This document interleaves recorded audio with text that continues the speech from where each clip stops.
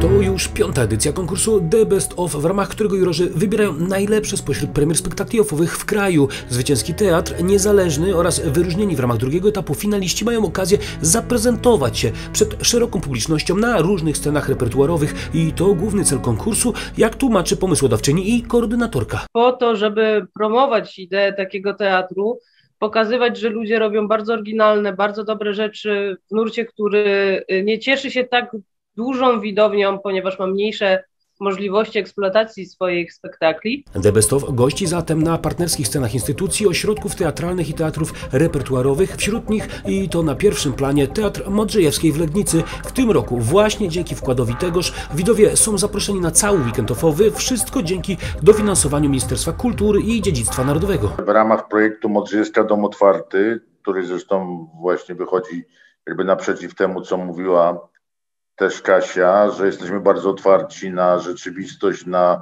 różnego typu wydarzenia artystyczne, y, że dzięki temu dofinansowaniu możemy Państwa w jakimś sensie gościć w Legnicy. Już w piątek Sticky Fingers Club zaprasza tancerz, choreograf, performer, fotograf mody i stylista Dominik Więcek. ten spektakl jest po prostu o ludziach.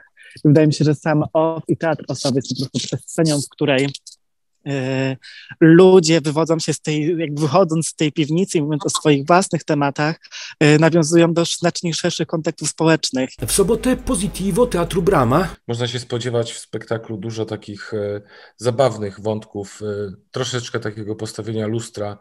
Myślę, że każdemu e, człowiekowi, A w niedzielę uwaga, a zatem spektakl teatru Odela. Pisze w nim o eksperymencie, pisze w nim o doświadczaniu koloru, czym jest kolor, e, jak on e, działa na ciało, na emocje. I to jest e, główne, e, nad czym się zastanawiamy. Wszystkie weekendowe spektakle o godzinie 19 zapraszamy w imieniu artystów. Bilety dostępne online oraz w teatralnej kasie.